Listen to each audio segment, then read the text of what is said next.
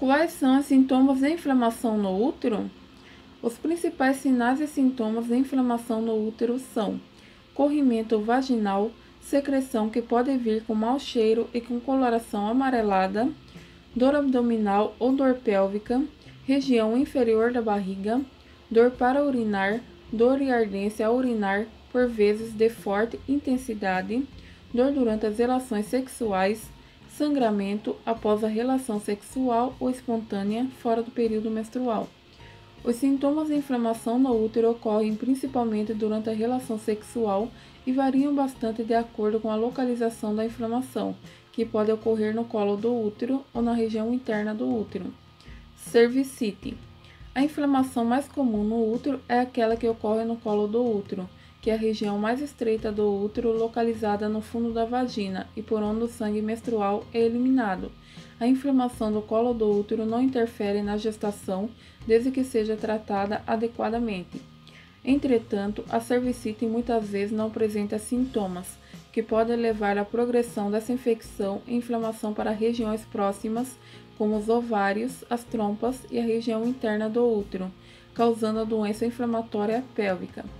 A DIP é uma situação mais grave e pode apresentar, além dos sintomas típicos, um quadro de febre, náuseas e vômitos. Quais as causas da cervicite?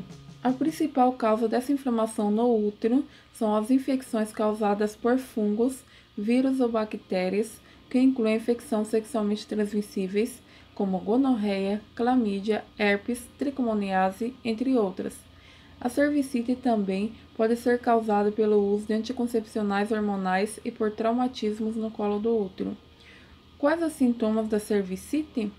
Os sintomas da cervicite incluem dor abdominal, dor na coluna lombar, dor na região da pelve, dores nas relações sexuais, sangramento vaginal, corrimento e odor desagradável na vagina. Qual é o tratamento para a cervicite? O tratamento da cervicite depende dos sintomas apresentados pela paciente e dos resultados dos exames solicitados. Em geral, é realizado com medicamentos antibióticos orais e tópicos.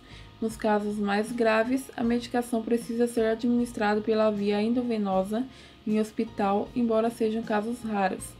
Recomenda-se que a mulher não tenha relações sexuais até o fim do tratamento e desaparecimento completo dos sintomas que leva cerca de uma semana. Endometriose. Endometriose é uma inflamação do endométrio, que é a camada mais interna do útero. Sem tratamento, essa inflamação no útero pode provocar sérios danos no aparelho reprodutor da mulher, podendo causar inclusive infertilidade. Quais as causas da endometrite? A principal causa da endometrite são as infecções causadas por bactérias, nomeadamente infecções sexualmente transmissíveis, como gonorreia, clamídia e sífilis. A endometriose ocorre com mais frequência depois do parto, abortos e após exames que podem provocar infecção do útero com bactérias, como esteroscopia, colocação de DIU, curetagem, entre outros. Quais os sintomas da endometrite? Os sintomas da endometrite incluem febre, dor acima do pubis, mal-estar, cólicas menstruais, corrimento e sangramento vaginal. Qual é o tratamento para endometrite? O tratamento dessa inflamação no útero é realizado com medicamentos antibióticos. É fundamental seguir o tratamento até o fim para prevenir recaídas e complicações. O exame Papa Nicolau é utilizado para diagnosticar as inflamações do colo do útero e o médico de família, o ginecologista, são especialistas indicados para o tratamento dessas inflamações do útero.